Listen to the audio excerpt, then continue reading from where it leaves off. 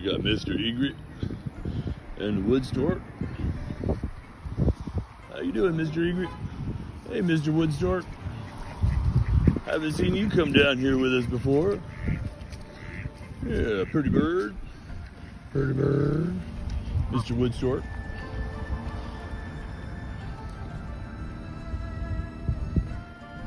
That's the first time we've seen you, Mr. Wood stork, come out actually eating. You doing today, Mr. Wood stork? Beautiful day today, isn't it? You pretty bird, you. Pretty bird. Yeah, you gonna come over and say hi? Come over and say hi. You pretty bird.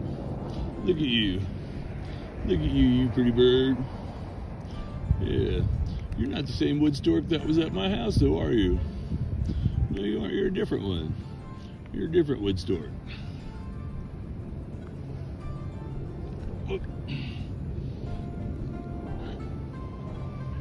Pretty, pretty birdie. Hey, Mr. Turtle. Pretty, pretty birdie, yes you are.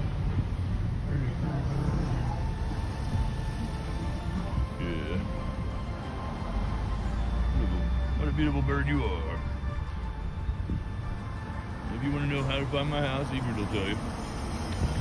I live too far away. You can come up, I'll sing songs to you. Yeah. I see trees are green, red roses too. I see them bloom for me and you. And I think to myself, what a wonderful world. The colors of the rainbow, so pretty in the sky, are also on the faces Shaking saying, How do you do? They're really saying, I love you. I hear babies cry. I watch them grow. They learn so much. I'll never know. And I think to myself, what a wonderful world.